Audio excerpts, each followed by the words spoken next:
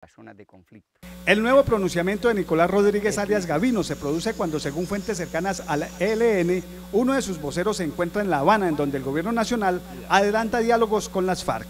La presencia en Cuba de Juan Vázquez, ex negociador de ese grupo insurgente en los diálogos de Maguncia de 1998, busca ante todo que el gobierno, como lo dice en su mensaje alias Gavino, cumpla con un ofrecimiento que les hizo.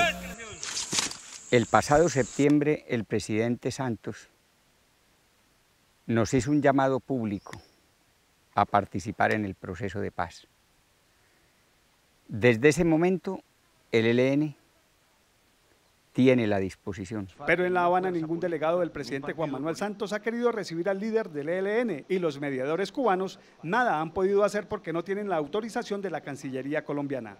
Según allegados al gobierno, la decisión de no recibirlos e iniciar diálogos con el ELN radica en que a ese grupo insurgente le apuestan con una salida militar, actitud que fue rechazada por el jefe guerrillero. Ya en por qué no estamos en la mesa, yo pienso que es una pregunta que hay que hacérsela al presidente Santos.